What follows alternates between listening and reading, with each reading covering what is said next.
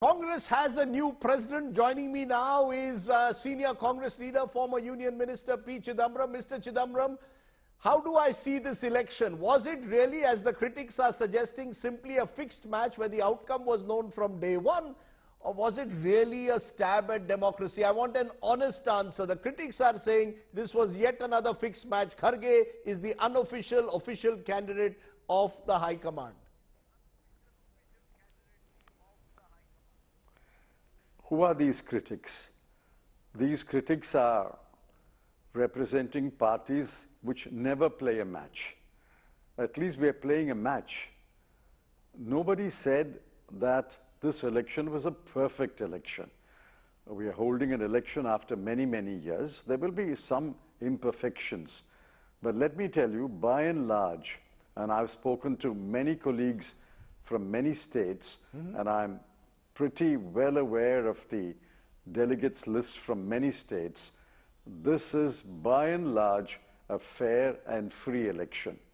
No, no, you're saying it's by and large a fair and free election. Only this morning, the election agent of Shashi Tharoor, uh, Salman Soz, suggested that the election was marked by serious irregularities, especially in a state like Uttar Pradesh, claimed that the manner in which the election had been organized in these states was done to ensure that Mr. Kharge won. There were those close to Mr. Kharge, part of his team, who were in the uh, uh, while delegates were polling, they were influencing the delegates. Serious charges were made. Where was Salman Soz? Was he in Lucknow? I think he's basing his criticism on hearsay. Let us assume that there are four or five instances of voting which may not have been perfect. But that doesn't mean that uh, over 1,000 delegates from UP were uh, fixed their ballots or rigged their ballots. I think uh, Salman Soz is a, uh, a young congressman uh, who has a bright future, but I think he is overstating the problems. By and large, and let me assure you, mm-hmm. 95%, the turnout was 96%, mm-hmm. ma- far above my expectations. Mm-hmm. 95% of this election has been fair, free, and they were free to vote for anyone they liked. No, no, and I know in some states, Yes. although they profess to they, they profess to vote for one candidate, they actually voted for another candidate. No, no, the, the fact though is, Mr. Chidambaram, your definition therefore of free and fair will come under scrutiny. There are reports that delegates were being rung up by people close to uh, uh, Mr. Kharge, claiming that they were speaking for the Gandhi, speaking for the High Command, that you had to vote for uh, uh, Mr. Kharge, Mr. Tharoor alleged during the campaign that senior leaders didn't want to be seen with him. I ask you again, do you believe this was uh, an election that really takes the process of uh, democratization of the Congress any further than it has? Or will Mr. Kharge, as has been widely seen, simply be someone who is a rubber stamp for the Gandhis? No, no, th- this is the usual binary. It's Gandhi or uh, no Gandhi. Please understand, this is an absolutely fresh start, but it can't stop here. I have repeatedly said over several months, several years, that we must take this process down, percolated down to the block level. Next, we must hold elections to PCCs, we must hold elections to district congress committees, and we must hold elections to the block congress committees. Once the delegates, and our delegates have told me in Tamil Nadu, once the delegates were assured that they can actually come and vote, a free and fair vote, uh, visible to the media, then you will find that the next PCC becomes a better constituted PCC. And the next District Congress Committee become, becomes a better constituted DCC. And the next Block Congress Committee will see a large number of new people entering the party, becoming members, and fighting elections. No, no, but will As there- it will- there be- down, No, no, will there the be for- system will become more and more democratic. No, you're saying if it percolates down, will, for example, the Congress Working Committee have free and fair elections next? Will we actually have people in the Congress uh, working committee who are not nominated but are actually elected? And will Mr. Kharge really have the weight to ensure that? No, no, please understand.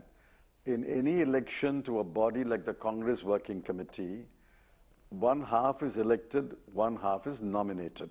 So we are only talking about the election quota, mm-hmm. which is, I think, about 10 or 11 members of the Congress Working Committee. There may be more than one slate of candidates. For example, your BCCI election did not have a slate of candidates. So this is true of all organizations. There may be a A slate, a B slate, and a C slate. For example, in Hyderabad, when Mr. Narsimha Rao held elections, there were more than one slate of candidates. Like in a college election, there are slates of candidates. And one slate may win seven or eight seats. Right. That doesn't mean it's fixed. That means it has been a fair and free election, No, no. a highly competitive election. No, the belief is that the old guard in the Congress, and you're included in a way in that, didn't want a Shashi Tharoor because he would be a disruptor. Y'all are still looking, it's a clique which wants to simply allow the Congress to go on the way it is. Interestingly, your own son, Karti Chidambaram was seen with Shashi Tharoor, even as you were seen with Mr. Kharge. And therefore, there is still this reluctance, it appears, on the old guard to allow anyone What new to enter your charmed circle. What is wrong? We are two Chidambarams. we are not clones of each other. He has a view. I have a view, but I've never expressed my view. Mr. Tharoor met me before he filed his nomination. Mr. Kharge telephoned me immediately after filing his nomination, since uh, the election authority had prohibited uh, persons holding organization posts from making any statement. Since I'm a member of the Congress Working Committee, I did not make a public statement. And I will not reveal my vote either. But I did vote, like Karti voted, like everyone voted. Now, why should there not be more than one view in a household? Uh, do you and your uh, uh, wife or do you and your son agree on everything? Interesting, interesting that you're That putting the ball shows that this is a fair election. Okay, the fact that the two Chidambarams voted possibly different ways shows it's a free election. But my final question to you is simply this. Do you really believe that Yes. Mr. Kharge will bring the change the Congress desperately needs? The general analogy I give is the Congress is a patient in ICU. You don't need band-aid. You need surgery. Can an 80-year-old, with due respect to his age, mm-hmm. Mallikarjun Kharge really effect that kind of change? Or is the real focus going to remain on Rahul Gandhi, who remains the elephant in the room? See, again, this is your media obsession. It's a binary. It's either the Gandhis or that's not the way a party functions. Mr. Kharge has assured us that he will implement the Udaipur Declaration. Mm-hmm. I have impressed upon him before and recently that we must take this process of election right down to the Block Congress Committee. See, we have the software in the Congress Party. Mm-hmm. What we need is to get the hardware. This must become a hard-wired organization fighting fit to fight an election. That can be done. Mr. Kharge will certainly choose his um, uh, fellow team members. He will choose, I hope, younger members. He will deploy teams in each state and make sure that the election going states will get priority and the other states will follow, that the organization is uh, put on a sound basis. Once we get elected bodies, once mm-hmm. we get elected bodies in most of the PCCs and district Congress committees, you will find that the hardware is in place and we believe that we already have the software. Where will Rahul Gandhi and the Gandhi family be in all this? What will they sort of hold? Will they decide whatever happens in the Congress, or are you really telling me that Mr. Kharge will be the last port of call? See, I assume that, and I'm pretty confident that, Mr. Kharge's Congress Working Committee will include Mrs. Sonia Gandhi, Mr. Rahul Gandhi. It'll be absurd if they are not included in the uh, Congress Working Committee. Uh, they are important players in the Congress party. It's like um, No, no, who is uh, Mr. Narendra Modi forming a executive committee with Mr. with, with Mr. Amit Shah not there. So they will be there in the Congress Working Committee. There will be 21 others also. And that Congress Working Committee will decide.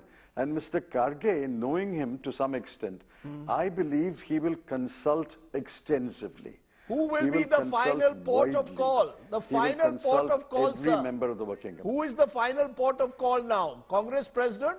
Rahul the Gandhi, Sonia Gandhi? All right. I'll, I'll answer. I'll answer your question. I'll answer your question. The final port of call will be the parliamentary board. I've impressed upon everyone that we must constitute a parliamentary board.